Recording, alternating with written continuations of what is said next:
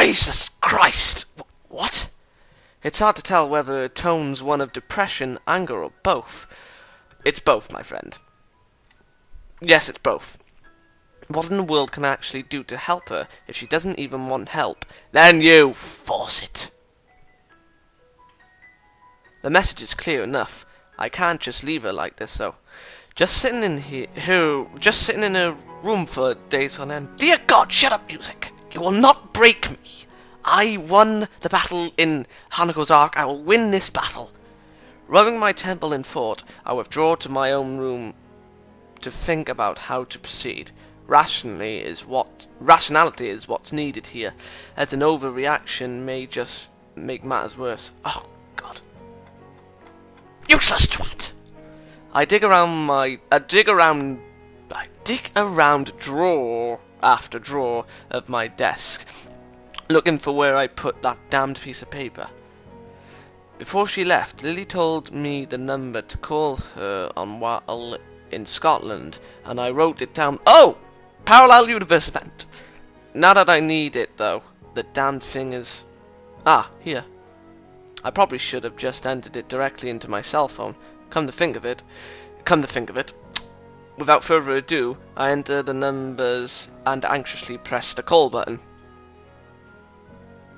The fact the phone rings at all shows that I got the prefix for a call to Scotland right at least. I've never made an international call before, so that's some comfort. Eventually, the phone picks up a feminine voice I don't recognise on the other end. It's probably Lily's mother. Dear God, this again. English. Suddenly finding myself unprepared, I realise I can't understand a word she says, either due to my limited vocabulary or her heavy accent. I should have anticipated this, since according to Lily, her mother is a native Scot. Soldier on! I shall soldier on in the hope that she must know some Japanese, considering it's her daughter's native language. Um, it's Hisao Nakai speaking. An enthusiastic sound of re realization can be heard as she recognizes the language. My feeling of relief is immense. I feel nothing.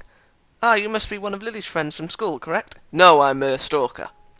Even so, her accent means I have to concentrate to work out what she's saying. Yes, that's right. Pleased to speak to you, Mrs. Satou. It's so nice to hear it. What? Here! It's so nice of her to find someone so polite. Lily dear, it's for you. Dear God, butchering everything in this game. Her mother seems nice. Damn it, she, if a little over enthusiastic, given the mundane situation. It's a small silence as Lily takes her time getting to the phone. In the distance, I can just make out her mother scolding her playfully for just getting up. Hello, Lily speaking. You sound awful. She makes a sound somewhere between a dying animal and a yawn. The one thing I did remind... Remind? Remind? What? Remember to check before calling was the time zone. It'd be pretty late in the morning over there, so she really has no excuse. Not feeling well? Just tired. What time is it there? Late afternoon. School finished for the day, so day not long ago. You're really not a morning person, are you? I don't need you making fun of it as well. it takes me some... It takes me a measure of restraint not to laugh at her pained groan. Poor girl. This isn't why we called! How are you, how are you doing over there, then? Bar the, bar the mornings, what? It's enjoyable. After not meeting them for so long, just having a meal together with my parents is nice though the pool and the sheer size of the house might have something to do with that as well. Even if they're not in Japan, from the way it sounds, the family must be pretty wealthy to live so luxuriously. Are things alright with you and Hanako? Oh, there we are, the music ended. Damn, I was hoping that wouldn't be brought up quite so quickly. I take a moment to try and sort out exactly how to describe the situation without causing her undue worry, but she picks up on that without a word being said. Oh god. Hanako's not well, is she? How did you know? Because today is her birthday. I'd hoped she might have gotten at least a little better after coming to know you, but... How is she right now? She hates me! She missed school yesterday and seemed out of sorts when I checked up on her. Today she missed school again and just told me to go away. I've really got no idea what to make of it. Has this happened in the past? Is it related to her scarring in some way? Unfortunately so. Roughly the same thing happened last year when her birthday came up. As far as I can tell, it's because her parents died in the accident that caused her scarring, and Hanako blames herself for their deaths. What she says does seem to make sense. If she's blaming herself on her birthday, she may she may well be ruining that she was ever born. The fact that Lily seems so in the dark about it, though, almost to the extent that I am, is a surprise. So that's why she lives in student dormitories as well? Has she told you any more about the accident? As close as we've come, she's barely told me anything about what happened. What I know about it is largely conjecture. She sounds depressed, almost defeated, considering the trauma Hanako must have gone through. I really can't fault Lily for not knowing. Nevertheless, she still seems to consider it a personal failing. Oh, God! Don't blame yourself, Lily, with everything she's gone through. I know. Thank you, Hisao. I'm sorry I can't be of more help to you. It's fine. I'll just I'll just give it some thought. Thanks, and have a good time in Scotland. Um, I... Hmm? It's nothing. Thank you for taking care of Hanako. Okay. Bye. Goodbye. And with that, the line goes silent. My voice is dying! Ugh!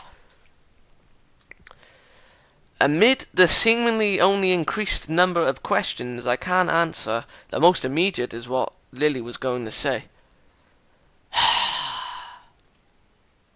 oh. Oh no. I'm an idiot. Baka baka baka! Oh, what? What? What? I didn't say anything. What are you trying to say, you filthy bastards? She must have thought I was calling to talk with her, but I only asked for help with Hanako. Even more shameful than that thought is the fact that such an appraisal would be largely correct. Well, first things first. For now I need to at least sort out Hanako and make sure that she's actually eating okay. The occasional passing students, useless twits, give badly hidden glances at the plate of food I carry to the female dormitories. What you gonna say? Fear my unlimited power.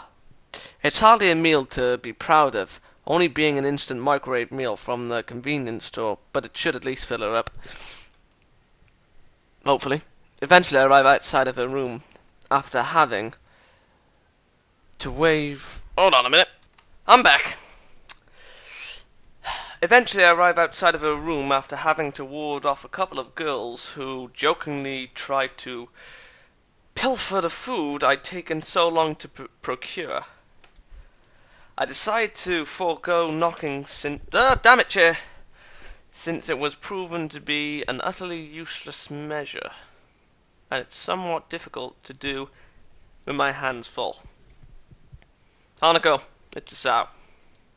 I'm going to destroy you. I'm kidding. I'm a horrible person. I know you're listening. I got some food for you. Silence, as expected. I'll leave it beside your door. Please eat it at least, okay? There, I said my piece. Now it's up to her. Door opening? No? Oh, balls.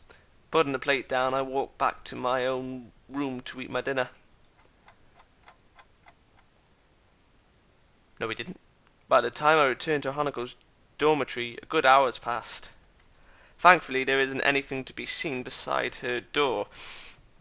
I walk back at least somewhat happier that she's eating.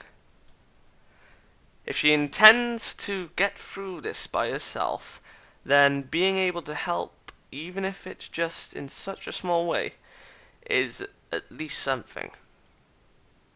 Oh, dear God.